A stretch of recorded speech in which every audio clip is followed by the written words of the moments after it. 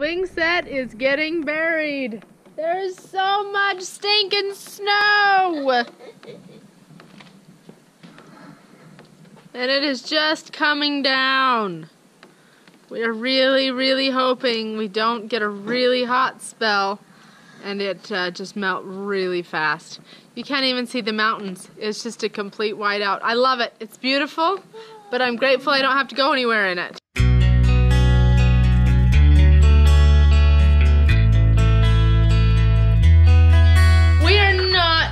Prepared for this. Not prepared. We're on a well, and so we have no water either because we don't have any power to the well. So we are just not prepared. We don't have any backup water. And we have water, we could go dig it out of, we have some cisterns that hold um, thousand gallons of water. So I mean, if it was a true emergency, we could get to water, but we don't have any easy water in the house. Snow is really, really, really coming down. It has been all day, all night. Um, this got parked here yesterday, um, full of snow. You can see the barbecue grill how much snow is on there. Heck, even this bucket shows you a little bit. It, I mean, the swing set, you know, the swings are close to being buried. The baby swing is buried. We have so much snow. I cannot even believe how much snow. But trying to teach the three-year-old that the power's out and why the power's out has been quite the adventure this morning. She wanted me to put batteries in the light switch. Um, just didn't quite understand what was going on. So we'll see how it goes. But um, yeah, this is yet another reason to get prepared. Get our stove working. Um, I would like to have a gas-powered kitchen stove. We have an electric. So I mean, there's just certain things that we are not prepared in the event of a real problem. So we'll make it today, won't we? What are you waiting for? Honey, Honey? You want honey on what? and the spoon. Honey on a spoon? She's crazy. Hmm. Hmm. she likes honey on a spoon. Yes, I do. Yes, you do. My uh, Sam found out that honey is bee barf, and now he won't eat it. so, that's all. Okay. What's that? No more. Okay. I'm gonna go out and check on the pigs and the chickens, see if they Take the pig bowl. uh see if they need anything. Okay. So much snow. It snowed like all night.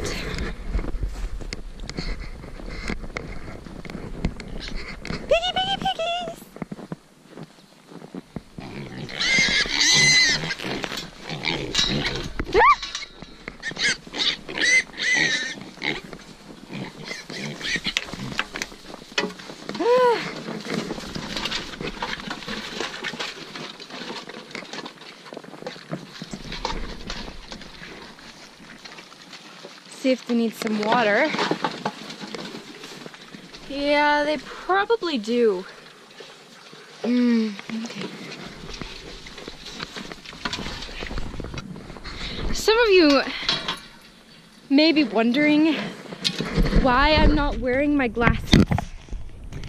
Well, I got a new pair and within, I think, two days, I stepped on them. So we gotta wait till tomorrow to get them fixed. Hey guys.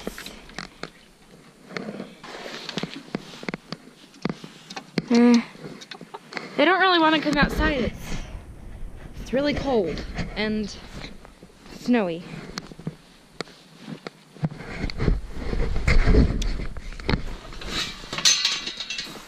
So we've got to get the pigs some water.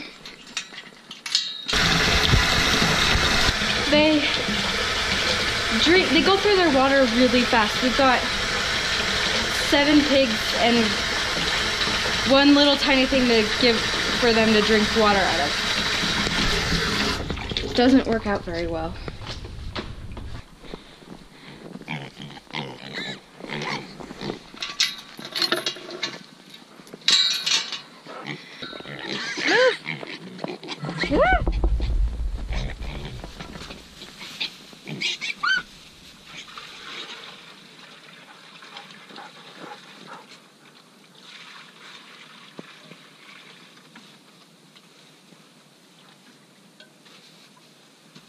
Ah. I like to like to go down by the pond and the creek. And just whoa, look around. Oh my goodness. Ah, it goes up to my knees. Okay, maybe I won't go up right now. But I like to go down to the creek and and the pond and the owl box and just look around. View myself for a few minutes. It's so peaceful and quiet. And I like to just get a few moments to myself down there. It's just beautiful. You can't really see the pond or the creek, but in the spring and the summer, it's beautiful. And you can hear the gurgling. You can hear it just like sometimes if it's rained a lot, there's so much water in there. It's crazy. It runs like so fast. With the power outage this morning, it's kind of put us behind with our schedule. Um, so we're going to go ahead and do some sight words um, for Sam's school, and then we're going to read. Um, for our sight words, we have a list of Fry words. Um, we printed it off online, and so I take some cards and I cut them in half. Um, To make more of food. so they go further because I'm thrifty. Flip through the cards, the the letters, the letters, the words, and then as he passes off the word without having to try or guessing if he knows it right off, then we give him an X on the back or smiley face or whatever we do. Um, once he does it five times, it goes in the where? Where do we put it? In the burn box. We have a box that he can burn them when he gets a whole bunch of them, or cut them up or throw them away.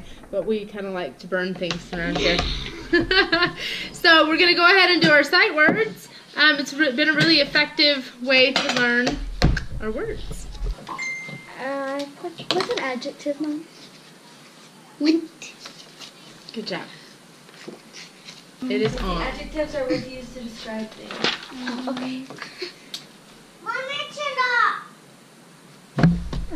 Try it. Here, Good job. must. Things. Close. Through, through, So if he misses one, we have him read it three times in a row. Through, through, through. What you working on, Miss? Um, Mad Libs. Mad Libs. And what does Mad Libs do to teach you anything? Um, what, like, what adjectives and nouns and verbs and parts of bodies are. So you gotta pick like different uh, adjectives and things. So it kind of teaches you what they are, right? Awesome. And they're funny. We'll have her read this one when she's done. Every morning, your bus runs uh, runs an, a soft route, so you must be sure to arrive at your local house early. While waiting, do not run in the middle of the street. You might get run over by an ugly dog. When you see the bus, wave your head before. If you when you see the bus, wave your head. Before boarding, make sure you have all of your rough books in, and your lunch jar. When you board the bus, do not push or jostle any of the smaller cats. Go to the nearest empty seat and swim. Do not talk to the dog while the bus is in motion. Do not throw cats at the other students. Instead of wasting time by ru- running, by running, use the trip to study your house houses. Follow these rules and you will have a small ride and arrive sadly at your soft school. That was called Rules for Riding the School Bus. That's awesome.